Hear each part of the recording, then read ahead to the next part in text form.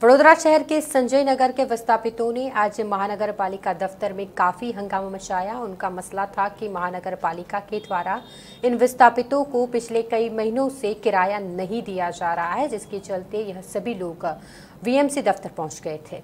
वडोदरा शहर को smart city बनाने की कार्यवाही के चलते कई प्रोजेक्ट शहर में शुरू किए गए हैं। आपको बता दें कि शहर को स्मार्ट सिटी बनाने के लिए बस्तियों को उजाड़कर गरीब लोगों को आवास योजना के मकानों में बसाने की योजना बनाई गई है, जिसके तहत शहर के कई इलाकों में जो बस्तियाँ मौजूद थी, उन्हें पालिका के द्वारा उजाड़ दिया गया है, हटा दिया गया है, जिसमें संजय नगर भी शामिल है। संजय नगर के विस्थापितों को अब तक घर बनाकर नहीं दिया गया है। उनके घर अब तक बनकर तैयार नहीं हुए हैं, जिसके चलते जब तक उनके घर तैयार तैयार नहीं होते हैं तब तक पालिका के द्वारा उन्हें किराया दिया जाना चाहिए लेकिन पिछले कई महीनों से इन विस्थापितों को किराया नहीं दिया गया है जिसके चलते इन लोगों का मोर्चा आक्रोशित होकर वीएमसी दफ्तर पहुंच गया था और वहां पर लोगों ने काफी हंगामा मचाया था વારસિયા સંજયનગરથી આવ્યા છે અમે લોકો અમે લોકો કમિશનર સાહેબની રજૂઆત કરવા માટે આવ્યા છે કે જે વારસિયા સંજયનગર ઝૂંપડપટ્ટી જે ત્રણ વર્ષ પહેલાં તોડી નાખી હતી